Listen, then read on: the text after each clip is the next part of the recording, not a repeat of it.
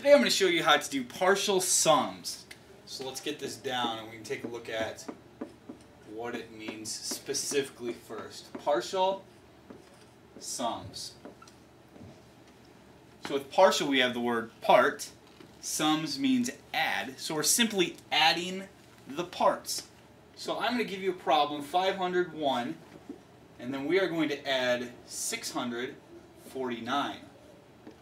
So now we're just going to add the parts.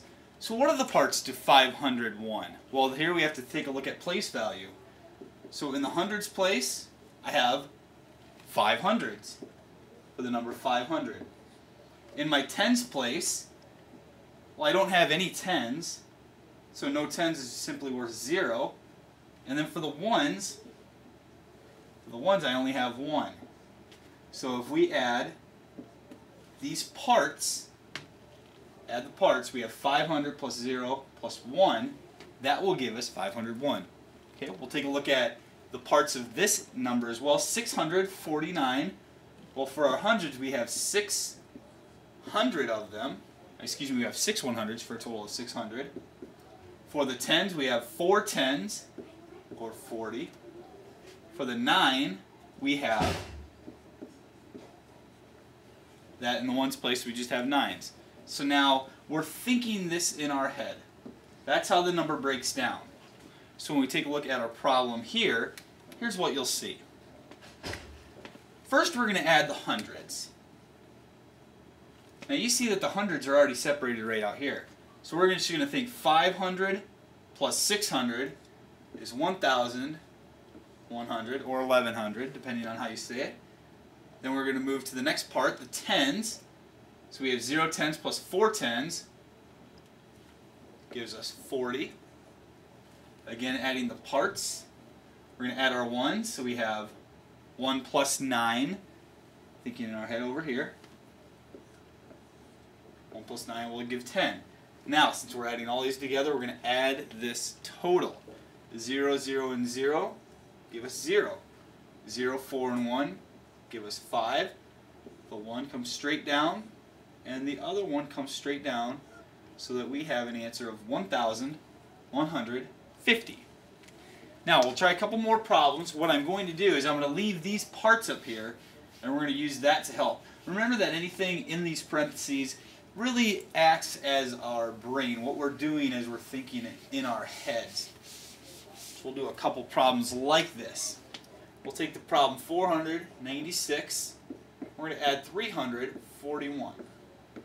Okay, let's think about the parts that we add partial sums. So I have 496, 341. Well, for the hundreds, we have 400. For the tens, we have 90. And for the uh, ones, we have 6. 341, we have 300. We have 40. And then for the ones place, we have 1s. So now let's add these parts. 400 plus 300 gives us 700. 90 plus 40 is 130. 6 plus 1 gives us 7. Let's add these parts. 007 is 7. 03 is 3. 7 and 1 is 8 for an answer of 837. Again, adding the parts of the number. Now the reason I like this strategy is because when you have this number in front of you, it actually goes quite quickly to help you figure out your mental math. If you practice this enough, that will not be a problem at all. Again, I'm going to go ahead and erase what we have here. I'm going to leave these parts up here one last time just so we can remember what we are thinking. And we'll take away and we'll do a little bit in our heads. We'll take 114 plus 674. Okay, 114 is 100 plus 10 plus 4. 674 is 600 plus 70 plus 4. Add the parts. 100 plus 600 is 700. 10 plus 70 is 80. 4 plus 4 is 8. 008 is 8. 08 is 8. And 7 is 788 for your correct answer. I'm going to give you two problems that I'd like you to work on your own, and then you can come back and take a look at part two, and you can check your answers. I'm going to erase this with everything on your blank slate, and see how you can do this in your head. Go 334 plus 233. That will be your first problem I'd like you to solve. Your second problem will be 654 plus 321. So we'll add the parts of these sums. You can come back to part two and check your answers.